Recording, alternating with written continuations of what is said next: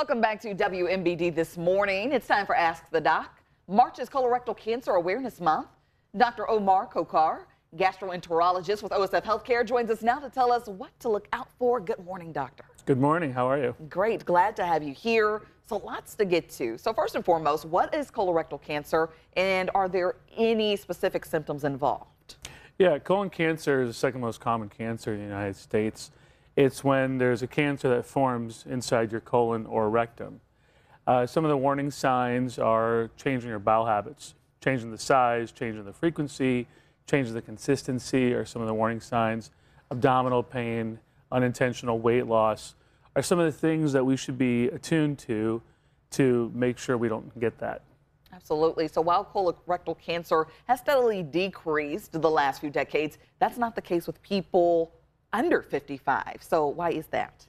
Yeah, we're really seeing an alarming increase in, in incidence in colon cancer in those younger populations, and we're not quite sure why. We think it is diet and activity level related, um, but you know where we used to consider hemorrhoids, irritable bowel syndrome as diagnoses for those symptoms, we're now seeing it even in 30-year-olds and 40-year-olds. So that's why it's really, really important to not ignore any symptoms that you might have.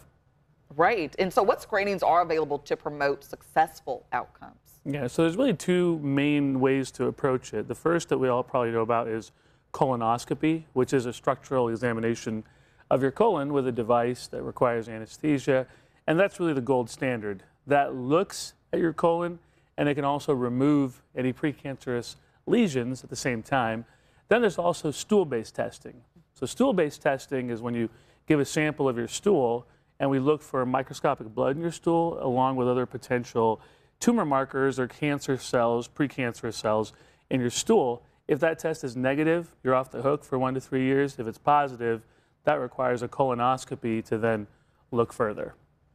And so, with the OSF Cancer Institute now up and running, what treatments are happening there to help colorectal cancer patients?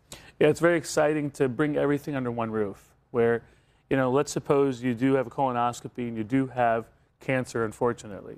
The Cancer Institute allows us to have everything under one roof. Your next steps being imaging, pathology, treatment, chemotherapy, radiation is all under one roof, so it's a very exciting new addition. Absolutely. So things are up and going over there, right?